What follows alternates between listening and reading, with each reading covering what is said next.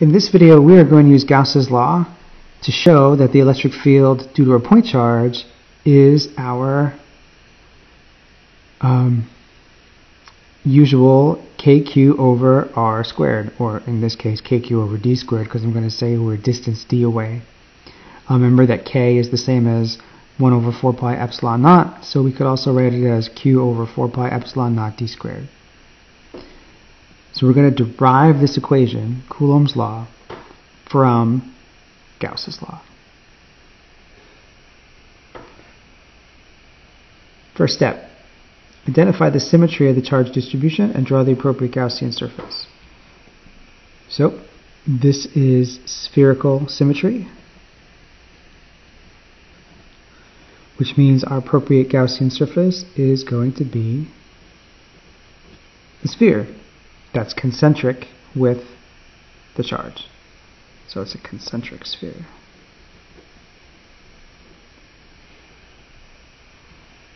And we want to make sure that the Gaussian surface touches the location where we want to find the electric field. So it says we're going to find the electric field a distance d away. So there's my distance d. So my Gaussian sphere needs to be concentric with this and it needs to touch at distance d so it's going to have a radius of d.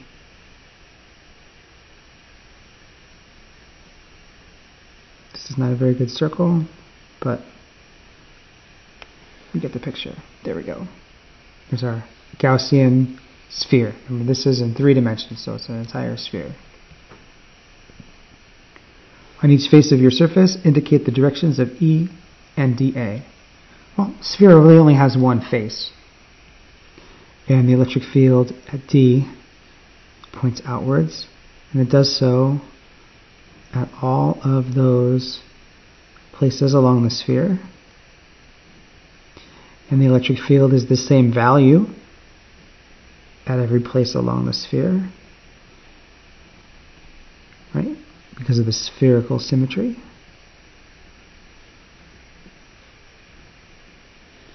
And the area vector dA also points radially outwards, which means that dA and E are going to be parallel everywhere on the surface of the sphere. I'm just going to draw them here. But you get the idea, it's the same everywhere and then everywhere along the whole, all around the whole three-dimensional surface the electric field is going to be poking through perpendicular to the imaginary circle the imaginary sphere everywhere. And all those E vectors and all those dA vectors are all going to be parallel to each other everywhere. So everywhere along the surface of the sphere we're going to have a flux. So step one is done, step two is done, Calculate Q enclosed, the charge enclosed by the Gaussian surface. That's easy. Q enclosed is just Q.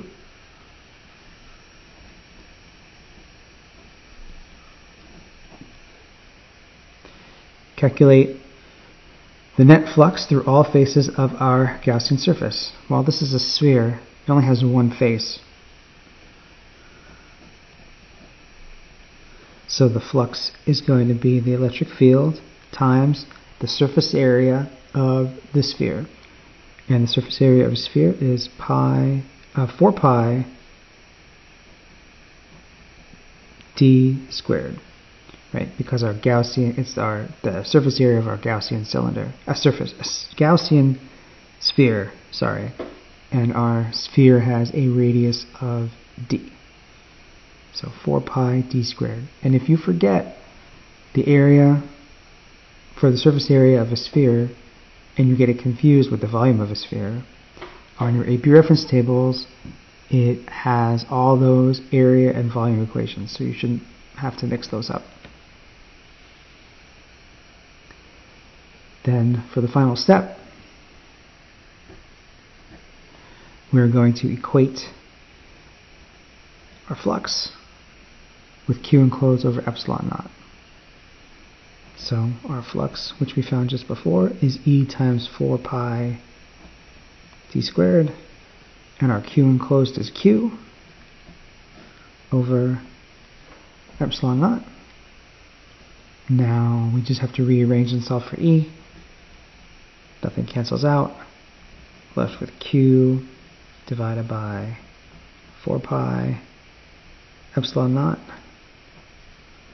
times d squared, which is the same thing as kq over d squared, right? Because k is 1 over 4 pi epsilon naught. And that is exactly what we knew we were going to get. It's our old buddy right there. kq over d squared. And we figured it out using Gauss's law. Hope that makes sense.